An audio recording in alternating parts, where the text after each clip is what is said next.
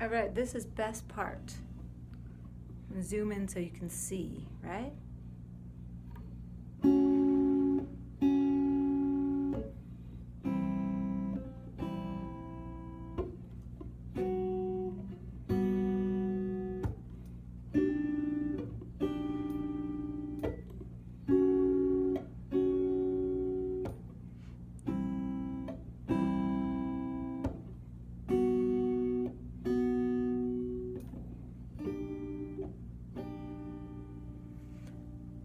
First chord is D major 7.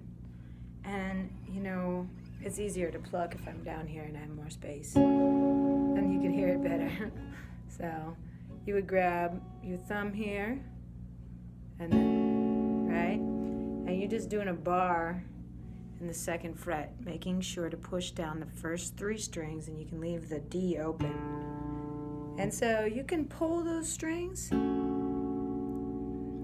or you can strum them. I remember how, uh, some of my students had an easier time just strumming them, but in the recording, it's more of a, you're hearing that plucked sound.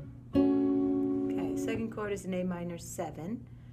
So you have your pointer over here on the C, second string in the first fret, right? And then this your second finger is going to go to the fourth string.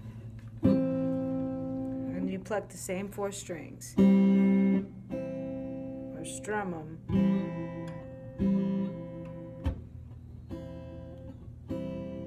right? Then your next chord you only need to put your pointer on the F sharp right here and you can pull the same four strings that is a G major 7. And then finally you have a B flat, uh, I think minor, whatever. So you're putting a bar on this time, you want your fingers to cover all the way up to the fourth string. Then you pull those same strings, right? Or you strum them. Okay, so here we go again. It's D major 7. This time I'll strum them from the fourth string down.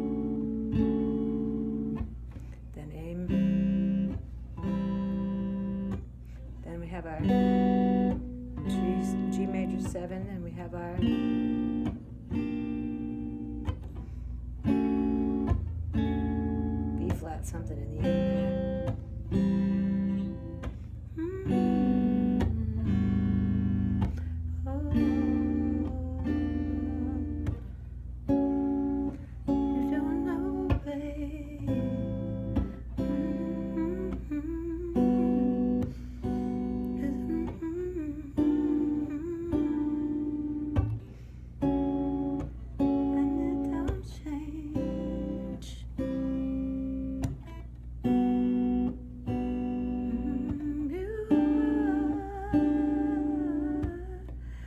only one you might not be able to see, just to review the A minor 7, I'm on pointers on the second string here, and then it's right here on the fourth string, right? All right.